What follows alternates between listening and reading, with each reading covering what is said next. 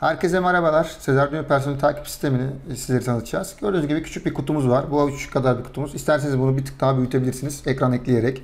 Ee, şu an web arayüzünde görüyorsunuz. Bu web arayüzü sayesinde sunucuya bağlı şu an. Online olarak çalışıyor. İsterseniz mobil uygulama, isterseniz e, masaüstü yazılımında entegrasyonunu sağlayabiliriz.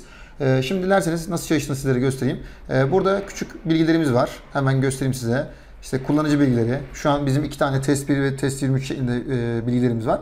Kayıt yap seçeneğimiz var. Yani kişiyi kaydediyoruz buradan. Kart oku seçeneğimizde de kişinin giriş çıkışlarını buradan takip edebiliyoruz. Şu an bir herhangi bir kayıt olmadığı için şu an sistemde kayıtlı olarak kişi kimseyi göremiyor. Dilerseniz bir tane test kartımızı okutalım. Şu an kendi bastırmış olduğumuz e, Sezer Dünya kartını gördüğünüz gibi kartın bilgileri burada göründü. Kayıt yap dediğimde de otomatik olarak kendisi çekti ID'sini. Hemen buradan testini yapalım. Sezer Çetin dedim. Durum kısmında da 1 ve 2 ve 0 sekmeleri var. 1 e, sistemin aktif olduğunu yani girişin aktif olduğunu, 2 de çıkışın aktif olduğunu gösteriyor. Yani giriş çıkış bilgilerini bu şekilde yapacağız. E, eğer 0 verirseniz de bu kişiyi iptal edeceksiniz. Yani turnike gibi bir senkronizasyon kullanıyorsanız e, sıfır verisinde sistemi kaydolurken e, kapıyı açmayacak. Yani atıyorum kart okuttu kimin geldiğini biliyorsunuz fakat geçişine izin vermeyecek. E, bunu öğrencilerde ya da farklı bir varyantlarda da kullanabilirsiniz. Biz şimdilik bir verisini gireceğiz. Bu sistemin aktif olduğu anlamına geliyor. Telefon numaramızı giriyoruz. Sağ şu şekilde koyuyorum. Personeli kaydet diyorum ve şu an gördüğünüz gibi Sezer Çetin personel bilgileri kayıt oldu. Şimdi dilerseniz şu an giriş çıkış bilgilerine baktığımızda herhangi bir giriş çıkış bilgileri yok. Kartımızı okutalım.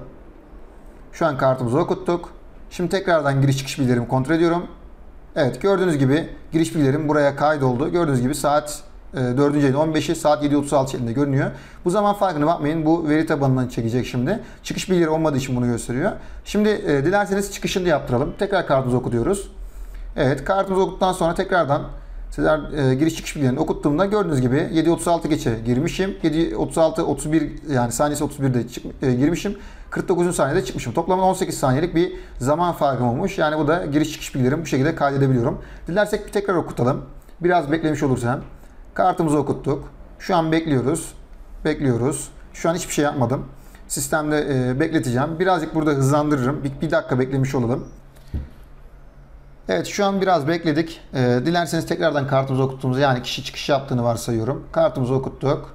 Evet şimdi sayfamızı tekrardan giriş çıkış bilgilerim için kontrol ediyorum. Giriş çıkış tıkladığımda evet toplamında 59 saniye e, bir çalışma zamanı olmuş. Yani 7'ye 30, e, 37 geçe 09. saniyede girmiş. 7'ye 38'de 09, 07. saniyede de çıkmış. E, dilerseniz küçük ufak da, e, sistemlerde kontrol edebiliyoruz. Mesela e, personel bilgilerini tekrar güncelleyebiliyorum. Bakın kart ID'sini burada güncelleyemiyorum. Çünkü biliyorsunuz kart bir kişiye e, tayin edilebiliyor. O yüzden tekrardan güncellemeyi kapattık. E, yanlışlıkla kartını egal etmesin yani silinmesin ya da farklı bir e, kartla kopyalanmasın diye.